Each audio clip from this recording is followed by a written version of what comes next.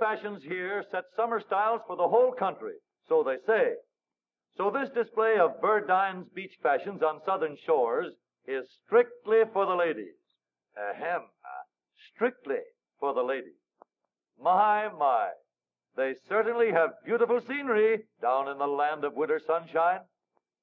The very latest thing, a printed linen halter top with navy wide rib body, and over this is worn a mottleless terry cloth cape with hood.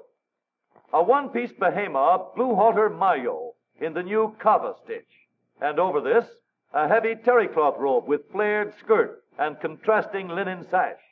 Something new in beachwear material. Both shorts and shirt are made of chamois gabardine. If you really intend to go in the water, be careful of this one. It's new. A newspaper print suit with a matching short coat and detachable hood.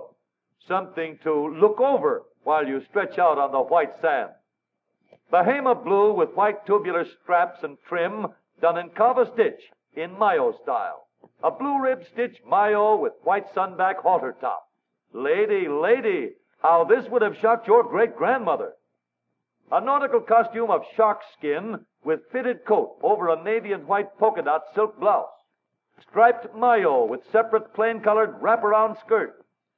One more, white crepe rubber maillot with fishnet seahorses for trim. Happy days!